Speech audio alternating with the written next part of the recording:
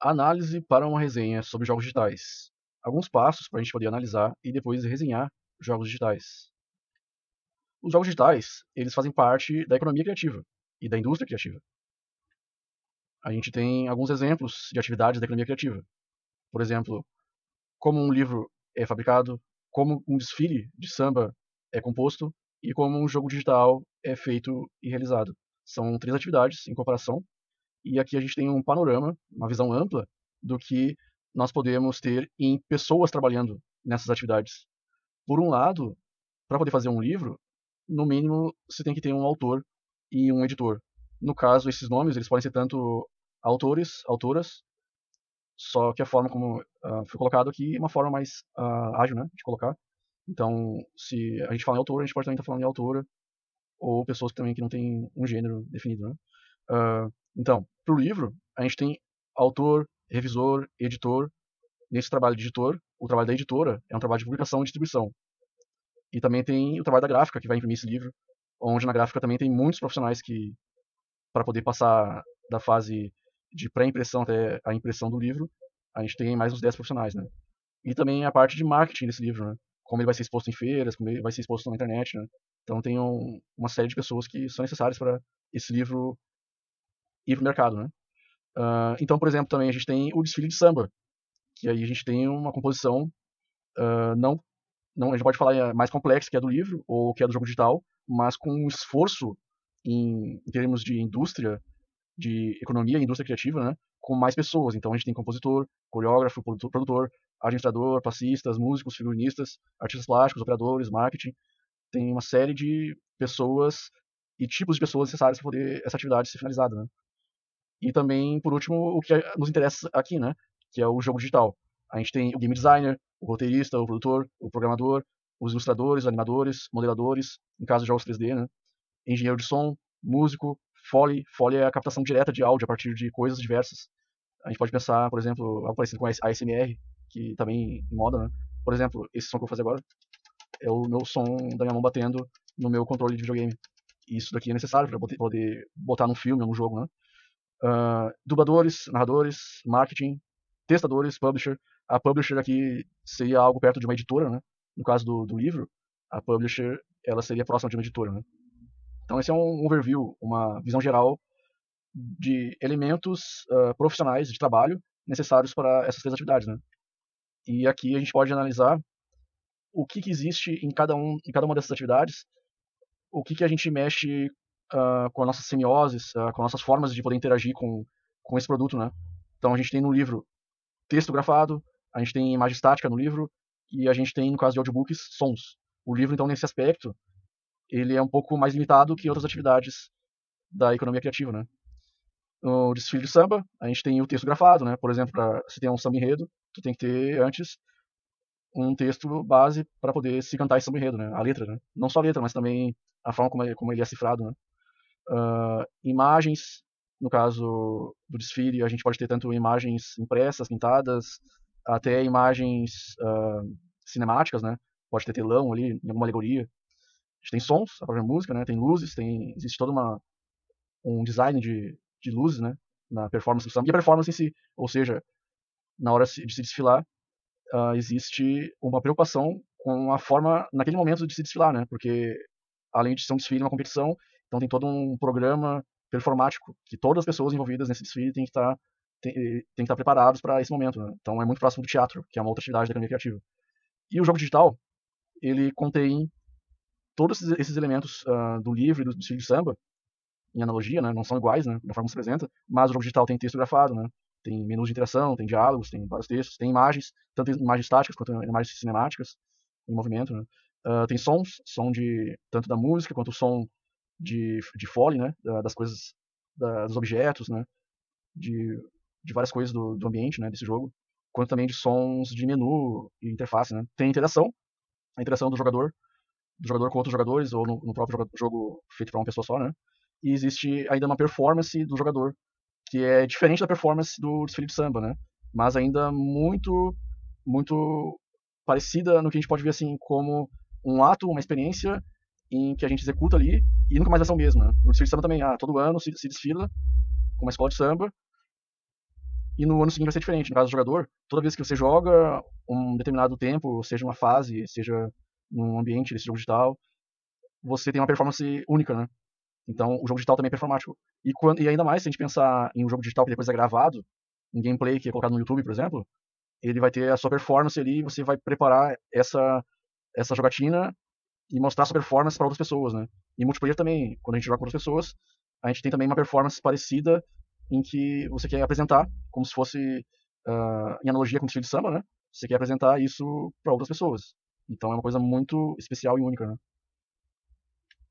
E nessa atividade econômica criativa, em relação ao livro, é necessário no mínimo uma pessoa, pode ser o, o escritor, o autor, que pode ser ao mesmo tempo o editor também, e ele vai publicar isso, né, fazer todos os trâmites, né? Ou pode ter mais pessoas envolvidas, né, revisor, editor, então fica de uma das pessoas, e o tempo de um livro normalmente a gente pode até, até botar um pouco menos, né, seis meses, mas pode, mas em média de um a dez anos, uh, em média cinco anos talvez, né? Um livro é um processo intelectual muito íntimo, então ele demora bastante, né? O desfile de samba, ele é feito para um ano, né? Todo ano em fevereiro, e a gente tem um envolvimento de muitas pessoas para poder ter esse desfile de samba. Então, o mínimo é 200 pessoas. Não tem como fazer com menos, com menos gente do, do que isso, né? Já o, o, o, jogo digital, o jogo digital, ele também pode ser feito em seis meses ou até em 48 horas, se a gente pensar em uma game jam, né? Que é um desafio normalmente pela internet ou ao vivo uh, entre 48 horas e uma semana em que as pessoas comprometem a fazer um jogo criado assim randomicamente, né, do nada, e e a partir daí tu tem esse jogo finalizado de uma forma breve, né? Mas em média um jogo independente, double A também, ou seja, um jogo intermediário, independente pequeno, intermediário, ele vai levar de 2 a 8 anos. E um jogo grande vai levar de 5 a 8 anos, mas dependendo com, com o número de pessoas envolvidas, ele pode ser anualmente, né? Por exemplo, a Ubisoft tinha e ainda tem essa perspectiva de sempre lançar um, um jogo novo a cada ano, né? Mas claro, eles têm muito mais, muito mais pessoal, né? Então um jogo digital pode ser lançado por uma pessoa só, de forma independente, ou por mais de 300 pessoas, mais de 200, né? Mas no caso do jogo digital, ele se aproxima do livro, né? Esse desenvolvedor de jogos, ele pode fazer o jogo de uma forma bem breve uh, ou até demorada e sozinho, né? Existe essa flexibilidade, né? Então, os jogos, os jogos digitais, como atividade de economia criativa, ele envolve uma série de, de tarefas uh, de trabalho, que são intelectuais e, e manuais, né, braçais, que a gente tem aí uma, uma série de trabalhos específicos, né? Feito uh, necessário necessário para se lançar esse jogo, né? Mas também pode ser feito por uma pessoa que se carrega de tudo isso, sendo que todas as partes presentes no jogo uh, são importantes em um determinado momento. Por exemplo, o roteiro, ele é muito importante no começo da criação de um jogo. E, e o game design também. O game design ele, ele, ele começa mais ou menos junto com o roteiro e depois segue para o meio para o final do jogo, né? Então, e o produtor também, o produtor é aquele que aquele tipo de, de trabalhador em jogos digitais que vai estar tá organizando o cronograma, vai estar tá organizando toda a produção do jogo desde o início, né? E, aí, a partir daí tu tem especificidades na parte técnica, artística, né? Todas muito necessárias e entrelaçadas pela, pela ideia do jogo, da ideia inicial do jogo, né? Que pode ser depois que pode ser depois retratada, uh, readaptada, né? E claro, e o roteirista também, ele pode mais tarde entrar um outro roteirista ou ser chamado o roteirista de novo, né, para poder fazer uma adaptação de acordo com o andar do, do jogo, né? E de uma forma geral, o jogo ele fica entre 2 e 8 anos e o número de pessoas fica em uma em 300 pessoas. Então esse é um panorama da, da atividade dos jogos digitais na economia criativa, que a gente tem que ter em mente, né? É um exercício muito bom da gente sempre, se, se não foi feito antes, da gente sempre poder enxergar esse, esses trabalhos nessas atividades como algo que demanda muito tempo, investimento. A gente tem que ter um carinho e, e observar de uma forma sensível que essa atividade ela não é uma atividade uma atividade simples no sentido de ser boba para poder se alcançar, né? Existe muito investimento e se se trabalha com uma equipe pequena, de uma a cinco pessoas, o zelo e, a, e o nosso valor sobre esse jogo tem que ser muito maior, né? Então, o que eu posso dizer é para que vocês invistam vocês comprem jogos independentes feitos, feitos por poucas pessoas, porque esse trabalho é muito complexo, demanda muito tempo. Valorizem o jogo do outro também. Se vocês conhecem alguém uh, que, são, que é colega de vocês, caso vocês já tenham já brincado ou já estejam já pensando profissionalmente em criar jogos, valorizem desenvolvedores locais, independentes, porque olhem a, o, o investimento em intelectualidade, em ação, em trabalho em vários níveis que, que são necessários para um jogo digital ser criado, né? Então a gente tem que fazer essa análise geral e a partir dessa análise geral a gente vê, a gente pode analisar casos específicos de jogos, né? Por exemplo, eu vou fazer uma análise de dois jogos brasileiros, analisando cada, cada qual com a sua especificidade, né? O quanto de, de investimento que se teve, a, o contexto em que eles foram criados, né? O ano e como que eles foram se desenvolvendo, desenvolvendo no mercado, né? Eu estou utilizando um Steam Controller em um PC com a placa de vídeo 750 Ti. Então, o objetivo é analisar o Torrent e também o Horizon Chase Turbo para poder fazer uma resenha, uma resenha de teste desses dois jogos, né? Uma resenha para cada. Para a gente poder chegar até a resenha, a gente tem que fazer uma análise com elementos que sejam mais de acordo, né? Com o tipo de produto que a gente tem, né? Que é um jogo digital moderno, né? Em ambos, em ambos os casos. Então aqui a gente está na Steam, é são, são dois jogos para PC. O Torrent, ele, ele é muito um jogo para PlayStation 4 e PC, né? Ele tem bem essa cara. E já o Horizon Chase, ele, ele saiu para mobile, para Nintendo Switch também.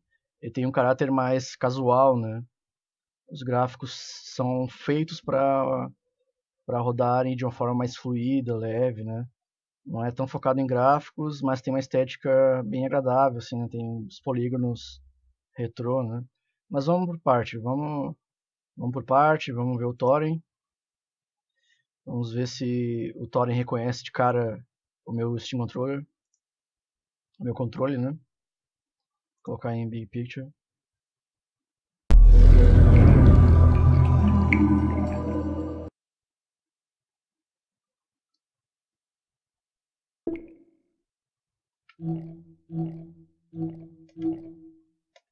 O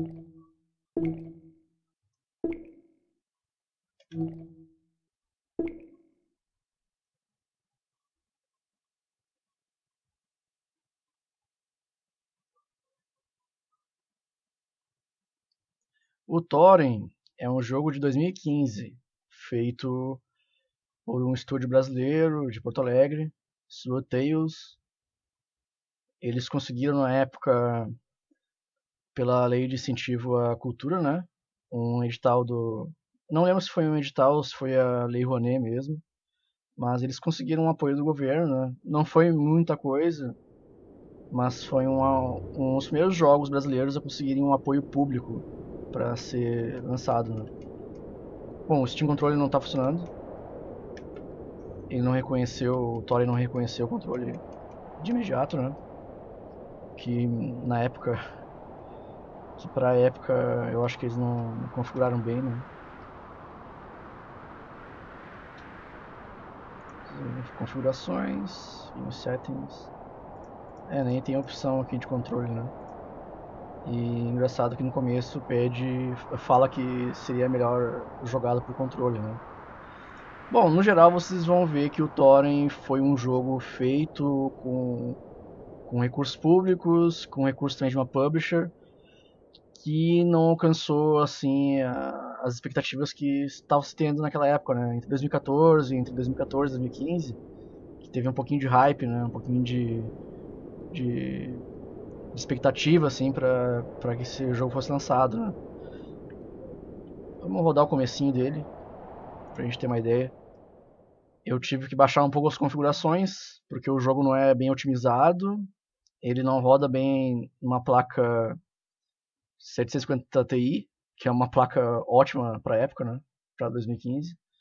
E também em 8 GB de RAM em processador AMD de 8 núcleos, não está rodando bem, que é bem estranho, né? foi bem otimizado na época. Bom, o jogo tem uma atmosfera eh, de fantasia e também um pouco ocultista. Né? Vamos analisando à medida que for passando, né? Analisando.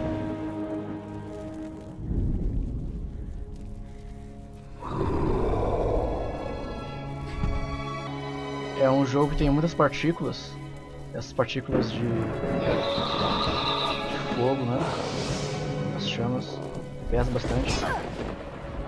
Os efeitos também pesam um pouco. Isso que eu tive que diminuir a resolução e também tive que diminuir um pouco os gráficos. Né? Ele é bem pesado. Na época eu comprei o jogo e gostei bastante. Gostei porque tinha uma atmosfera diferente, né? Por ter uma temática ocultista. Eu apostei no jogo, fiz um review positivo.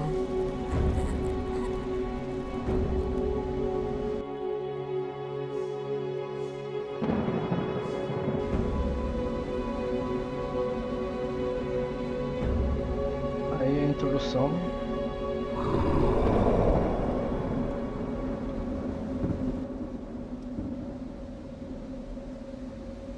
Em termos de áudio, tanto o áudio geral, de efeitos, de objetos, passos, tudo, e a música também é um jogo de excelência. Né? A gente pode considerar ele como um jogo double A que não é, claro, uma grande produção, mas é uma produção mediana.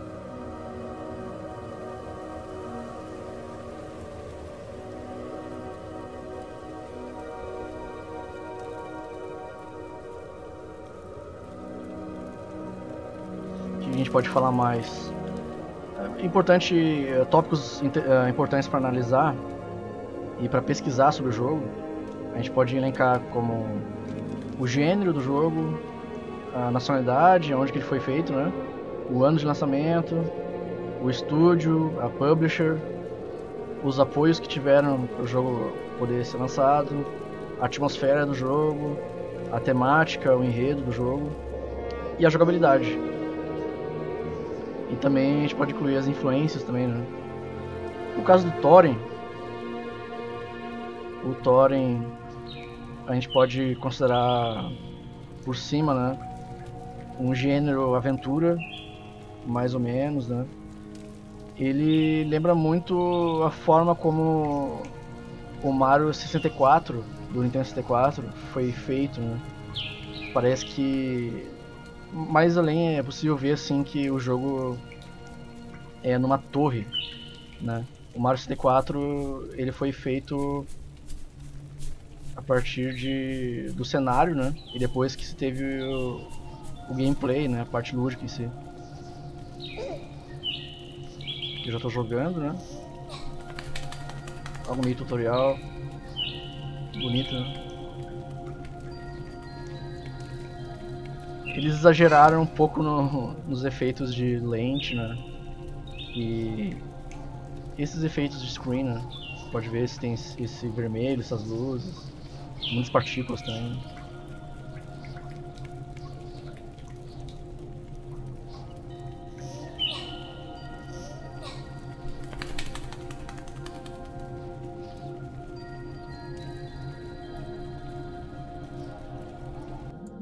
Aparentemente um jogo que foi feito a partir do level design, a partir da, do ambiente, né, onde que o jogo foi construído em 3D. Né?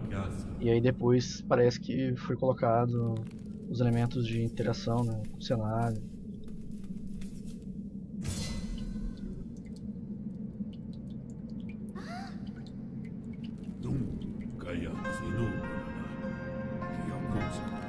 Claro, é um jogo de paciência, é um jogo atmosférico, a atmosfera do jogo ocultista, né? É, claro, é, como eu tinha falado antes, né, é um jogo brasileiro, feito com recursos medianos.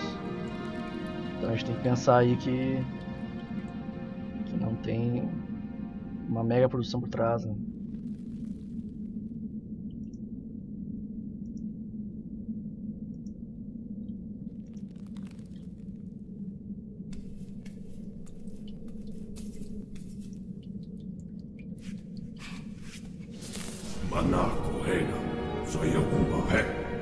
Ele foi lançado em 2015. Teve um momento ali que se acreditava que esse jogo poderia fazer um. Uh, ter uma reverberação bem grande na,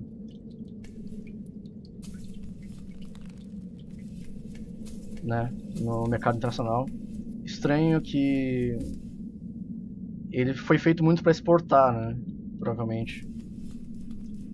Estranho que não tem nenhum tipo de localização em português. É um jogo brasileiro e não tem nada em português. A princípio, pelas opções eu tentei procurar e não, não achei. Né?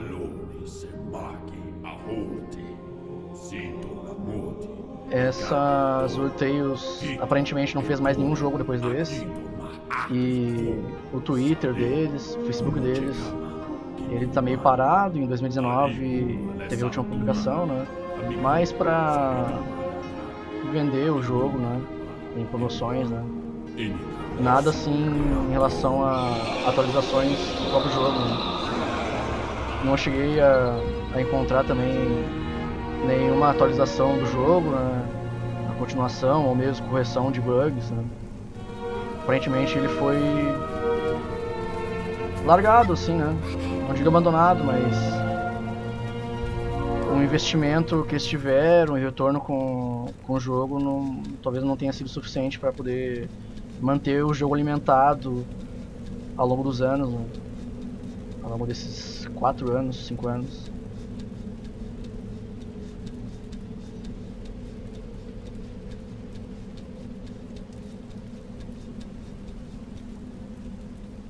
Então, como tinha colocado, é uma torre gigante, né? Você vai subindo. Eu vou tentar subir. É uma torre com vários puzzles, vários quebra-cabeça. Né? E aí tem uma série de, de, elementos que a gente pode interagir, né?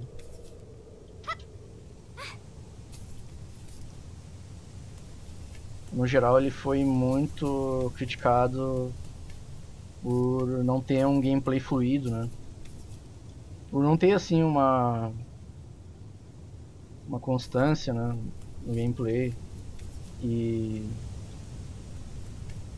no geral não é um jogo com um aspecto lúdico bem desenvolvido né?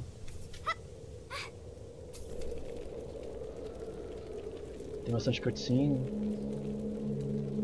mas para quem gosta de jogar algo mais cadenciado né com exploração do cenário e com fone de ouvido, né? Claro, envolvendo, se envolvendo na atmosfera do jogo, é um jogo bem interessante. Né?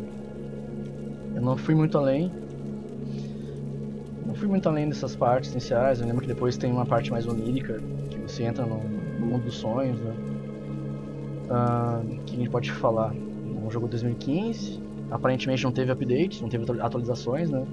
Um jogo foi largado, entre aspas, né? O estúdio parece que se dissolveu ou continua, mas com outro nome, não sei. Uh, a publisher foi a a Versus Evil, é a LCV Entertainment. Os apoios, teve apoio do Ministério da Cultura na época, né? Ainda no final do governo Dilma, em 2015, né? 2014, 2015.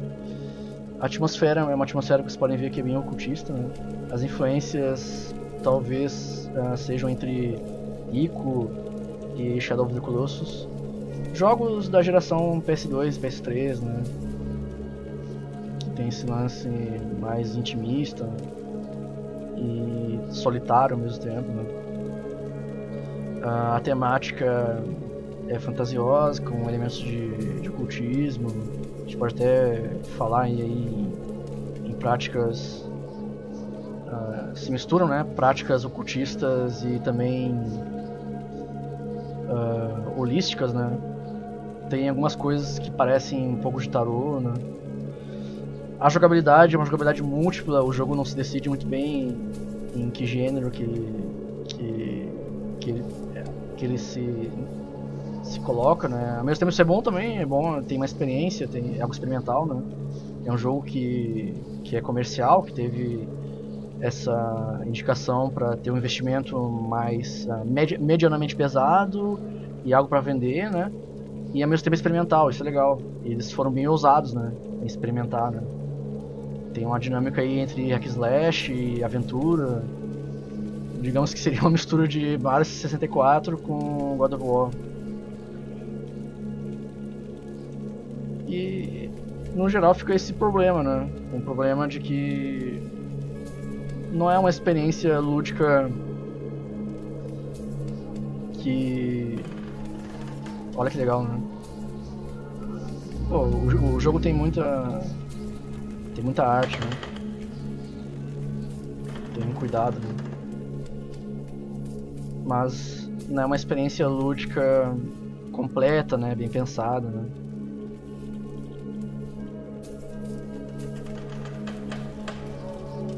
Eu consideraria que esse jogo precisaria assim de vários várias atualizações, né? É um jogo que tá entre beta e gold. Né? Beta que já é um jogo que a gente pode considerar bem jogável, né? Mas também tem muitos elementos alpha também, né? Vamos finalizar. Eu joguei toda essa parte no teclado, porque não reconheceu o controle, o Steam Controller.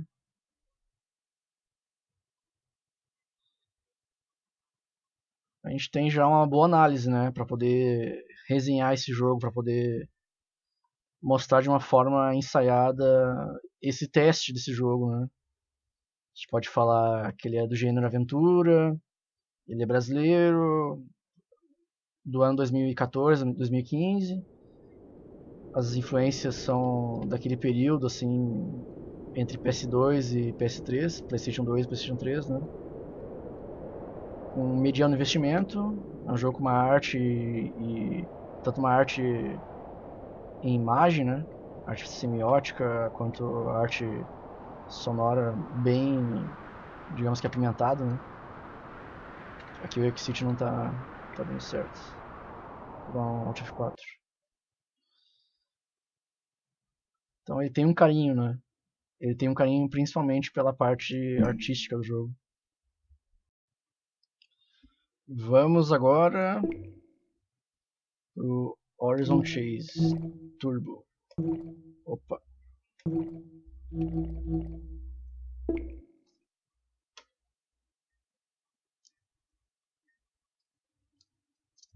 O Horizon Chase Turbo ele é um jogo mais recente. É um jogo mais recente, né?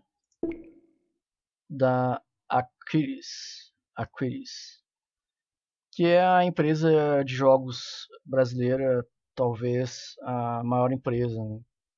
ou uma das maiores, ou uma das maiores empresas, mas sem dúvida é a maior do Rio Grande do Sul. Eles, ela tem sede em Porto Alegre.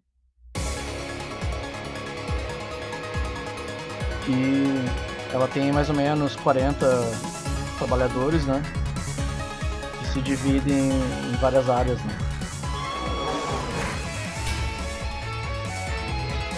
O Horizon Chase está funcionando no controle, certinho.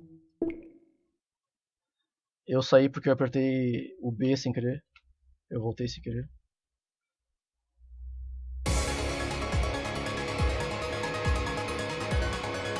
O Horizon Chase Turbo ele foi lançado em 2018 para PC, mas ele também tem uma versão mobile de graça. Então todo mundo aí pode jogar pelo celular a versão mobile. É um pouco diferente e é ótima também. Eu comecei a jogar esse jogo pela versão mobile. Dá para utilizar bem o giroscópio do celular, caso o celular tenha, né? O giroscópio é aquele sensor de movimento que você fica girando o celular, né? É um jogo de corrida. Dá pra ver que é um jogo de corrida, né? Vamos lá no. Campanhas mesmo.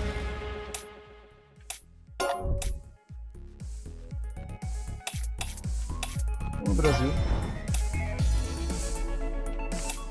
Como eu sou de Porto Alegre, eu vou na minha cidade, Porto Alegre.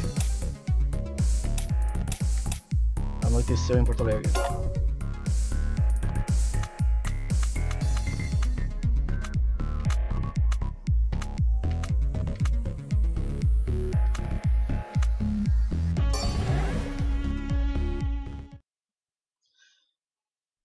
Horizon Chase ele é um jogo que teve um investimento próprio, né? Aparentemente a própria Quiris, ela é a a publisher também do jogo, né?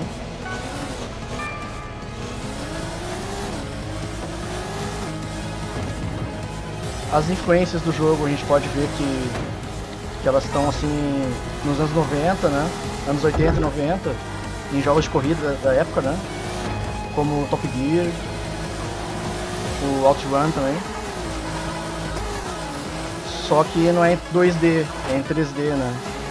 É um jogo em 3D, só que lembra muito 2D.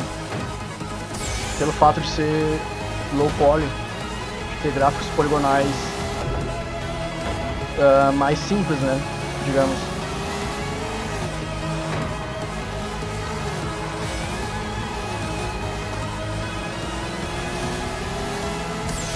A gente não pode nem comparar o Horizon Chase com o Thorin.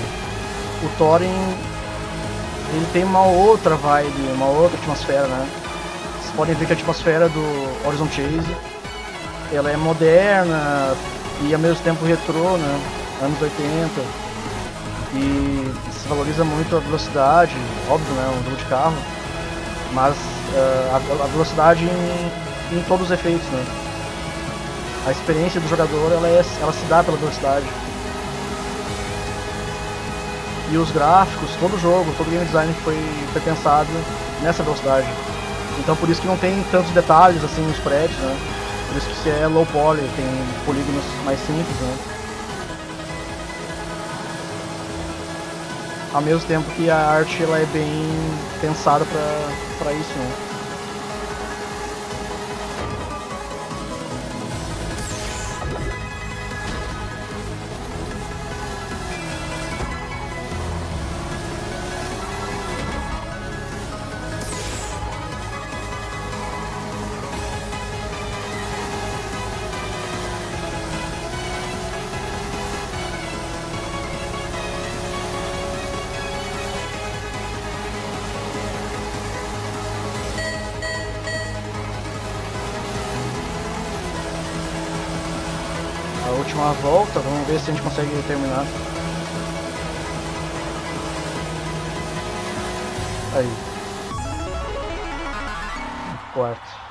É um jogo de corrida, competitivo. Só que a gente pode ver que o jogo está em português. Olha a diferença. Né? Isso a gente pode uh, comparar, né? Entre os dois jogos.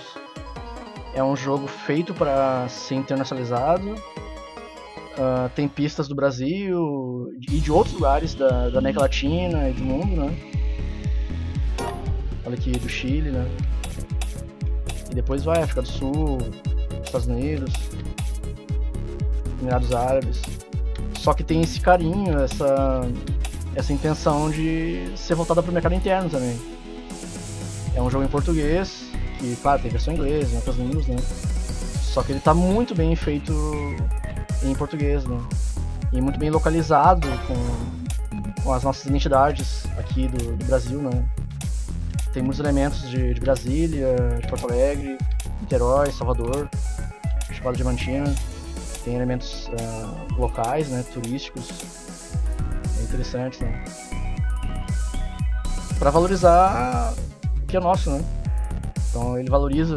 E é um jogo que é atualizado, né? Ele, ele é um jogo que que recentemente teve atualização e teve mais fases. Então se tem uma, uma preocupação da Aquiles em sempre estar tá fazendo updates, atualizações. Né? Uh, o que a gente pode falar sobre. Analisando o jogo, né? O gênero dele, corrida, numa versão mais arcade, mais. assim. É, um jogo de, de fliperama, né? Do que um jogo de simulação. Ele não simula como é um carro, ele não, não, não leva pro jogador a sensação de simular um carro, não tem aquela coisa da marcha e outras pequenas coisas que tem que ser cuidado, né? Então é um jogo arcade que, que diminui todos esses aspectos necessários para poder dirigir um carro em alta velocidade, né? Que são muitos. E simplifica para poder dar essa, essa sensação de, de um gameplay fluido, né? ágil. É, é um jogo totalmente brasileiro. Ele teve apoio. Uh, ele teve apoio da PUC, da Pontifícia Universidade Católica, pelo fato de, de estar situado, a, Aquiles está situado na Tecnopuc, que é um anexo da PUC, né? um anexo tecnológico da PUC. Então ele tem esse investimento compartilhado, né? parte privado e parte privado filantrópico da, da PUC. Né? Então não é um, um jogo que saiu do nada também, né? Não é um, um empreendimento totalmente exclusivo do, dos desenvolvedores desse jogo, né? Esse jogo. E é um jogo retrô, tem uma, uma atmosfera retrô, oitentista, temática também, ela é moderna, oitentista. A música, ela, ela é excelente nesse sentido, né? Ela foi composta pelo mesmo compositor que fez a trilha original do Top Gear dos anos 90. E a jogabilidade é uma jogabilidade de corrida, não simulada, né? Arcade. Você tem que uh, cuidar o freio e a aceleração e o turbo também, né? É, é uma coisa fantasiosa, né? Por não ser simulado. E, é, e para se dar esse dinamismo, né? Uh, a gente pode falar que as influências é, o Top Gear, o OutRun. Dá para considerar um Double A. Um jogo independente não teria tanto conteúdo assim. Até poderia ter, mas uh, seria um jogo independente feito a longo prazo, né? Mas é um Double A por ser semi-independente. Ele é independente, ele é mais independente que o Thorin, porque o Thorin tem uma publisher, tem alguém que investiu no jogo, né, por fora, para poder lançar esse jogo, para poder tomar as rédeas da distribuição e do lançamento do jogo, né. Só que no caso da Kiris e do Horizon Chases, uh, não se tem isso, né, não, não tem a própria Kiris investiu em marketing e e fez todo o processo de colocar nas lojas, né, na Steam e divulgar também, botar na Nintendo também, né? Então, ele é um jogo independente pelo fato de a própria equipe tomar, tomar todo o trabalho né, que envolve essa atividade econômica em economia criativa. A gente pode falar também que essas características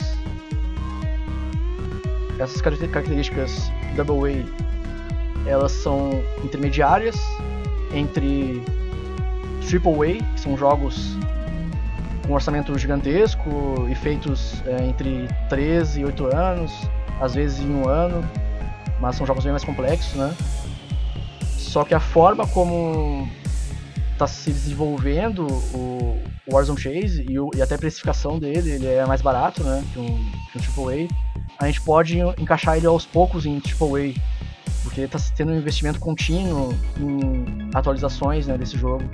Ele está ficando muito bom assim ao, ao longo do tempo. Né?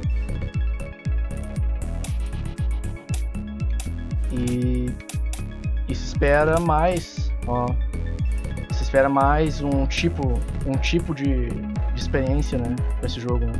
Eles lançaram esse Rookie Series, Summer Vibes, e talvez venha um próximo aí, né? Um outro tipo de, de jogatina, né?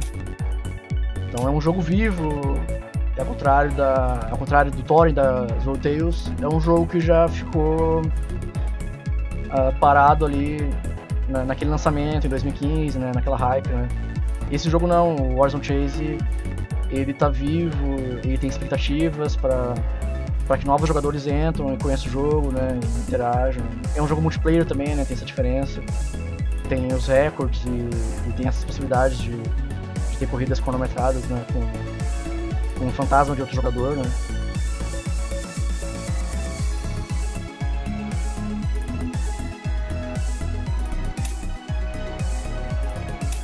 uma olhada nas opções. Eu acho que os gráficos estão todos no máximo. 8x.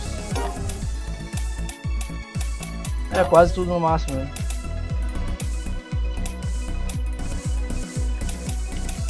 Português. É. Japonês, chinês, coreano. Você tem um, uma preocupação em localizar, em internacionalizar. Claro, as Tales provavelmente na época em que tinha mais empenho para produzir o, o Thorin, eles tinham uma equipe de 10 pessoas no máximo, né? Já que eles já giram em torno de 40, 50 pessoas, né? Então pode ver que tem uma diferença entre é, em equipes, né? Aqui a gente já tem já um o Horizon Chase é um jogo gold, né? Um jogo finalizado, mas que ainda recebe conteúdo, então já é uma coisa bem diferente, né?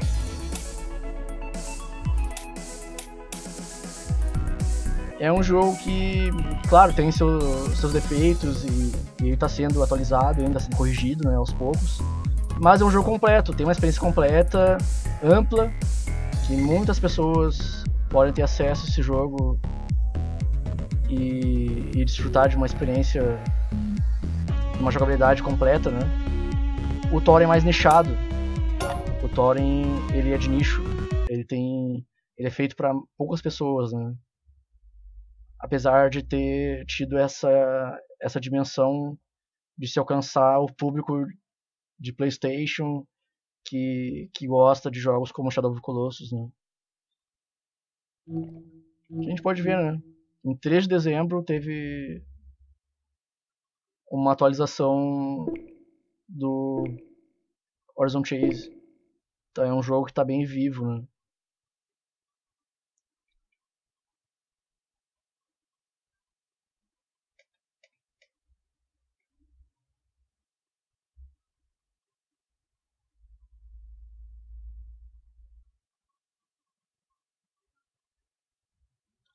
Então, esses, foram elementos múltiplos para levantar dados e, e experiências com, com esses dois jogos, né? Para que seja possível fazer uma resenha, um, um ensaio de teste sobre esse jogo e recomendar depois esse jogo ou não, né? Vamos sair do modo Big Picture. Opa.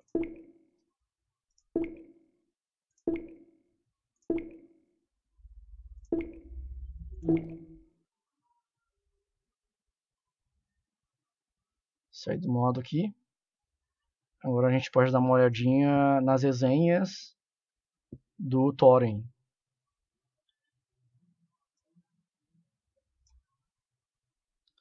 Então são resenhas misturadas, né? tem 66% de, de resenhas positivas e o resto uh, entre mais ou menos e negativo. Né? Tem uma resenha negativa, está em inglês, né? aqui em português.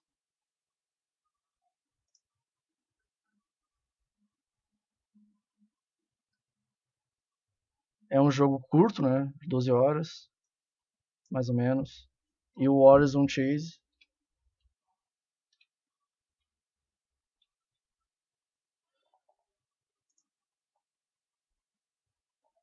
o Horizon Chase já tem já resenhas muito positivas. 93% das resenhas, das avaliações são positivas.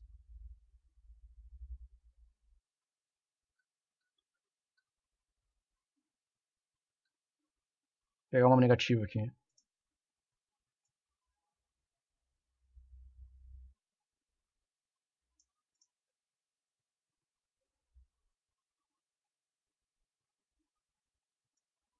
É, e tem um. Ele fez. Esse usuário fez uma análise negativa falando de uma questão de gameplay, de jogabilidade, né? O, o desafio de pegar as moedas, né? Que pode estragar a experiência com o jogo, né? Então todo jogo, não importa o orçamento dele, ele tem alguma coisa que não que não vai ser unânime, né? Isso é normal. Isso é tranquilo.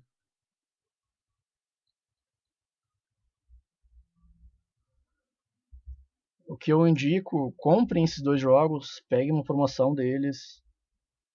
Eles estão um pouco caro agora, né? Porque não tem sale da, da Steam. Mas o Horizon Chase ele tem para celular de graça. O Thorin ele tá 20 reais. Só que eu acho que pode ser encontrado em algumas promoções, né? A Versus Evil fez algumas promoções. Vale a pena, assim, jogar, né? Pra ter essa experiência, né?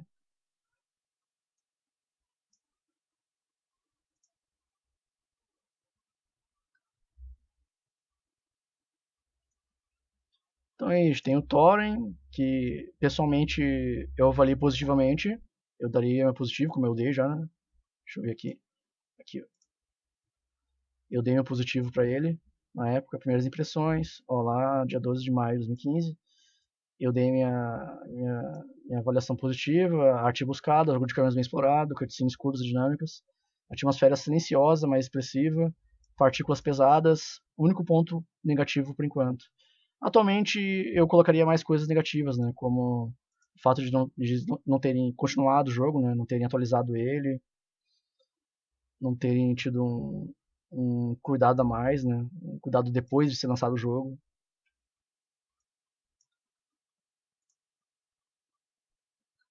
E o Horizon Chase eu acho que não fiz uma resenha ainda. Mas é isso, é um, é um jogo mais dinâmico, né? Em todos os sentidos. Eu não, é, eu não resenhei ainda. Até porque eu tenho que jogar mais, né? São poucas horas. Mas a gente já tem bons elementos, né? O Horizon Chase, repetindo, é um jogo de corrida, é brasileiro, é de 2018. Ele é feito pela Aquiles, no estúdio de Porto Alegre. Teve apoio da Tecnopuc. Ele é um jogo com uma atmosfera e uma temática retrô, anos 80, moderno, né? A jogabilidade é um, é um jogo de corrida arcade, ou seja, não é realista, né? E ao mesmo tempo ele é um jogo atual e atualizado frequentemente. As influências deles, uh, dele tá entre Top Gear e OutRun. E a, a última pincelada sobre o Thorin. O Thorin é um jogo de PC, entre PC e PS4, jogo de aventura, digamos, né? Mas misto ainda, né? A nacionalidade dele é brasileira, o ano 2015, o estúdio é Sword Tales, a publisher é Versus Evil, teve apoio do, do Ministério da Cultura, a atmosfera dele e a temática dele é entre ocultismo, fantasia, a jogabilidade é múltipla, tem vários elementos de hack slash, de aventura 3D, né? Ambos os jogos são Double A, claro, com o Horizon Chase com um orçamento bem maior e com um empenho bem maior né, ao longo do tempo. Né. É isso. Obrigado, pessoal.